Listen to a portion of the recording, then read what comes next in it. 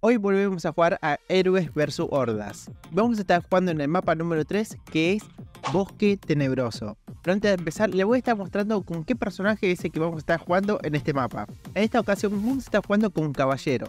Y este es el equipo que vamos a estar llevando a la batalla. Sí, es bastante pobre, pero bueno, yo creo que igualmente lo podemos llegar a superar. Ok, las armas que utilicé para este mapa son las siguientes. Espada, ballesta, aura divina, orbes de fuego y bomba. Los tomos que utilicé, que son el complemento de las armas, son las siguientes. Recuperación, regeneración, velocidad, duplicación y área. Y en este mapa que Bosque Tenebroso vamos a encontrar una amplia gama de enemigos, desde jefes, elite y esbirros. Vamos a empezar con los jefes, que es el que nos indica cuando terminamos el mapa. En esta ocasión nos vamos a estar encontrando con araña gigante. Luego el elite, que nos va a estar apareciendo en tres ocasiones, va a ser el lobo espectral. Luego los esbirros, que nos van a estar apareciendo en grandes cantidades, que son relativamente sencillos de vencer, para hacer lo siguiente. Arañas, esqueletos, duende saqueador, duende oscuro, duende maligno, cuervos, cuervos de bandada, vampiro y brujas. Antes de empezar quiero que me dejes abajo en los comentarios si ya pasaste este mapa y con qué personaje lo utilizaste. Si utilizaste el caballero como lo voy a estar utilizando yo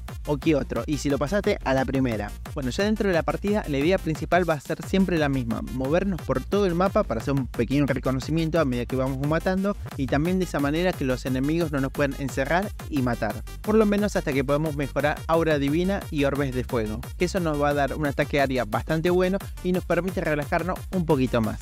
Los esbirros que van a estar apareciendo no son muy difíciles como les comenté al principio, así que el objetivo de pasar la primera oleada va a ser dentro de todo bastante sencillo. Cuando nos quede un minuto de la primera oleada va a estar apareciendo el primer elite, que en este caso es el lobo espectral. El ataque del elite lo que hace es marcar una línea recta y arrasar con todo lo que se encuentra en esa área. No es difícil de esquivarlo, pero no hay que confiarse, porque los enemigos nos van a querer encerrar y mantenernos en esa área que va a estar atacando el Elite. Cuando termine de derrotar al Elite, me van a estar dando un cofre y esto me permite seguir mejorando las armas que ya tengo. En esta ocasión fue la espada.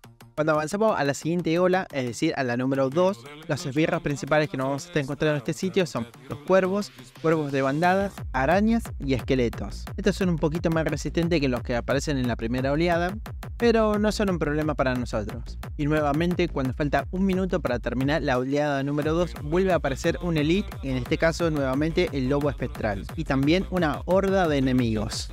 Y en esta horda aparecen ya los vampiros, los distintos tipos de duendes y las brujas. Ya avanzando un poquito más en la tercera oleada, nos vuelve a aparecer nuevamente el lobo espectral, es decir, el elite, que lo derrotamos sin ningún tipo de problema, y también vuelven a aparecer otros enemigos que son mucho más resistentes y nos cuesta un poquito más poder matarlos. Pero para avanzar a la siguiente oleada necesitamos de algo muy pero muy importante, y en este caso necesito de tu ayuda.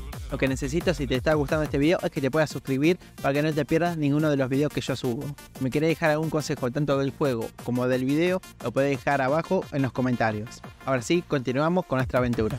Oleada número 4. En esta ocasión es cuando va a aparecer el jefe, es decir, la araña gigante.